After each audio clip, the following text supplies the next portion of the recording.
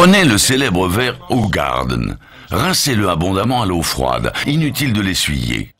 Ouvrez le robinet, verre incliné sous le jet.